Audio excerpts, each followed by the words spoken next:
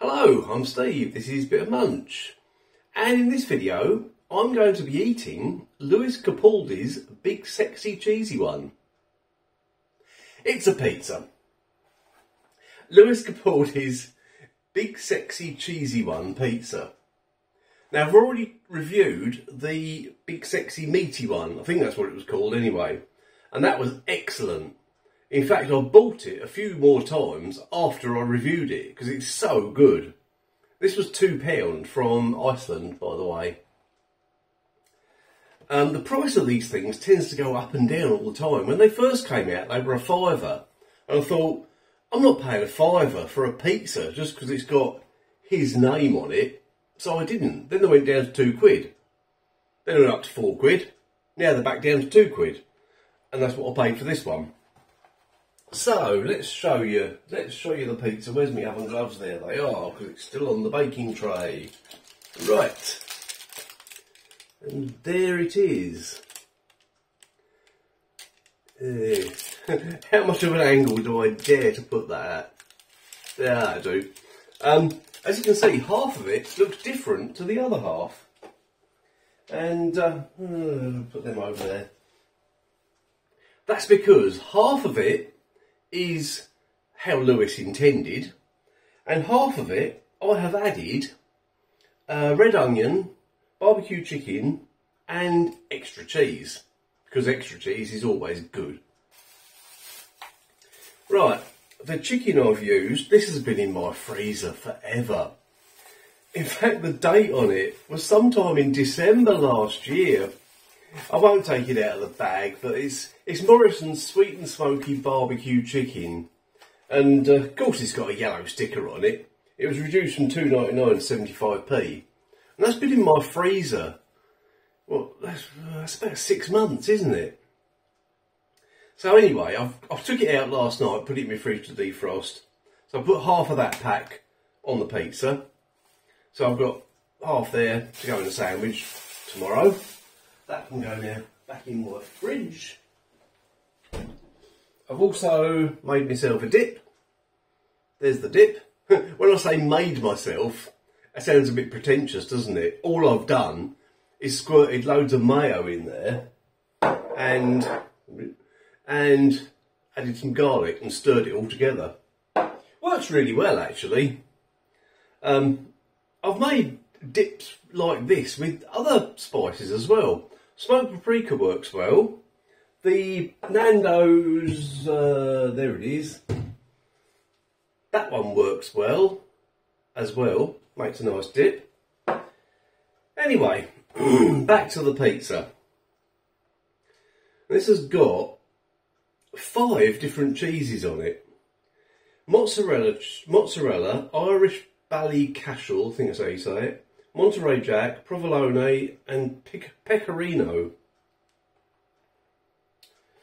Yeah, so it should be cheesy. It should be, anyway. Yeah, it should be. Right.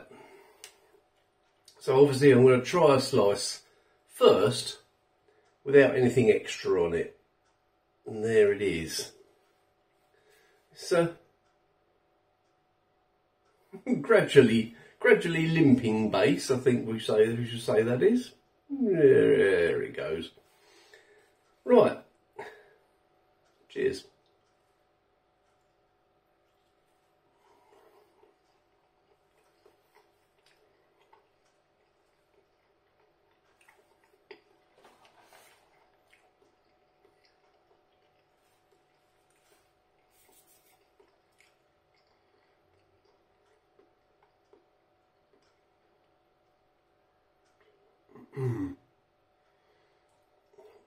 What?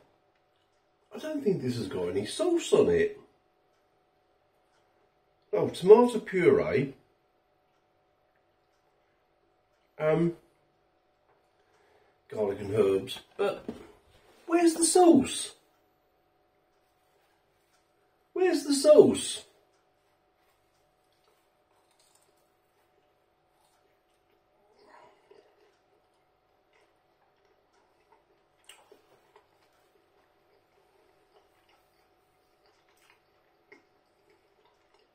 Hmm.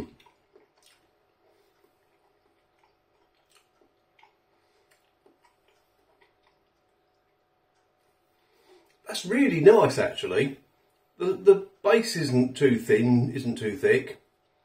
Um, the blend of cheeses is quite mild, to be honest. It's not a strong cheese taste. It's more of a creamy cheese taste. But there's no, I can't see any sauce. Oh, there it is. There's the sauce. Right, now I've peeled that back. Let's try it.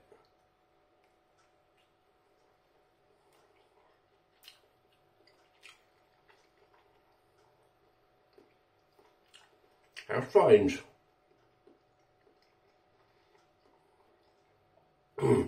Barely taste of tomato at all.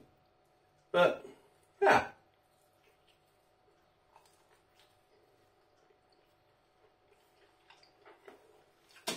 Mm-hmm. Good you roll. so,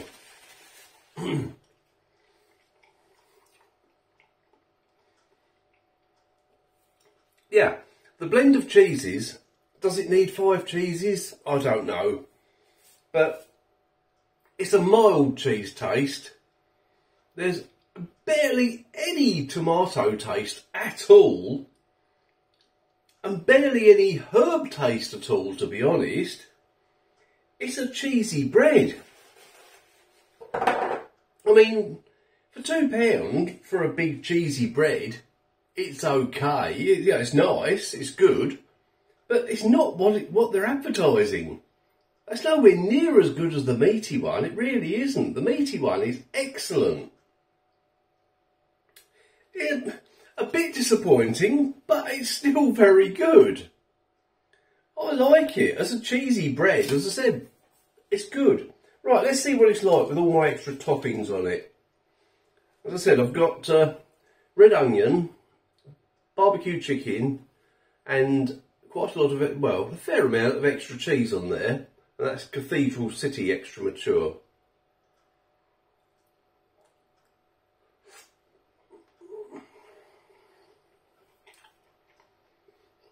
Hmm.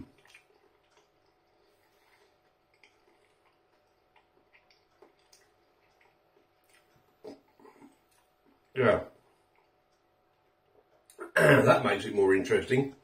I tried a bit of this barbecue chicken before I put it on the pizza because quite often with barbecue flavour things, I'm not keen on them. Not if they're too sweet. Well, this is described as sweet and smoky barbecue, but it's more smoky than sweet. In fact, it's, it's very smoky. That works really well with the extra cheese and the onion. Yeah.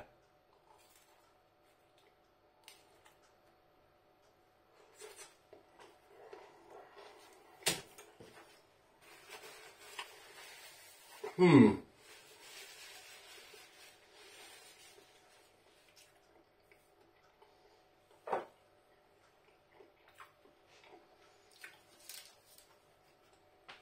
Let's just try, because as I said, this pizza as it is, it's just cheesy bread, basically. So let's see what it's like as cheesy garlic bread. Here we go.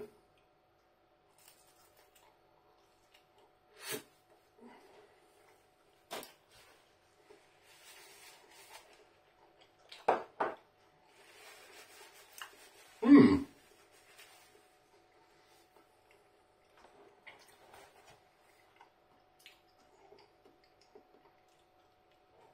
Works, that's good. So, this is a bit of a strange one, because as I said, the meat version of this is excellent. It's really good. When it's on offer for two quid, buy it. it's as simple as that. This one if you're expecting an incredibly cheesy pizza, that's not what you're going to get. You're going to get a, a cheesy, but a mildly cheesy taste bread with hardly any tomato taste or herb taste whatsoever.